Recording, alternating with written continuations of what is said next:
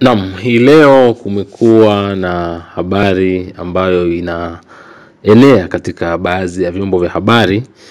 ikitanabaisha kwamba golkipa wetu wa timu ya Polisi Tanzania, golkipa nambari moja huyu Metacha Boniface Mnata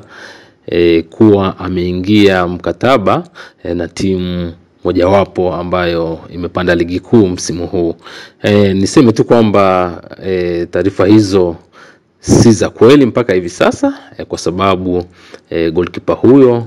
eh, au golkipa wetu huyu Metacha Boniface Mnata ana mkataba na sisi wa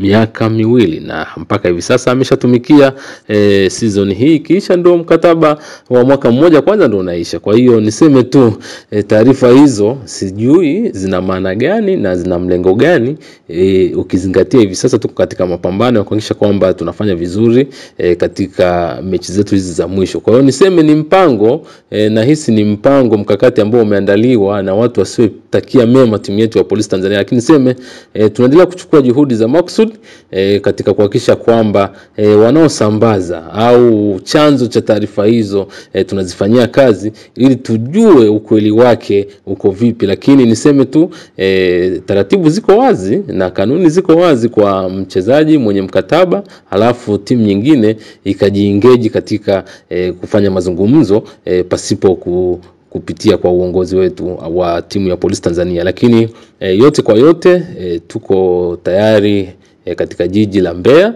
kwa ajili ya mchezo wetu dhidi ya Mbeya City, mchezo utakaochezwa siku ya Jumapili. Niseme tunaendelea vizuri na tunaendelea kushikamana. Hatujakuwa na matokeo mazuri sana, lakini e, ni wazi mapambano tunayoyafanya yanaonekana, na inshallah, inshallah safari hii tutaendelea kupambana kuhakikisha kwamba timu yetu inarejea katika ubora wake na tunabaki ligi kuu Tanzania bara na tunafikia yale malengo ambayo tulijiwekea kabla msimu haujaanza. Asante sana. Jina langu ni Frenki Geoffrey Lukwaro, ni mkuu wa idara ya habari na mawasiliano ndani ya kikosi cha Polisi Tanzania.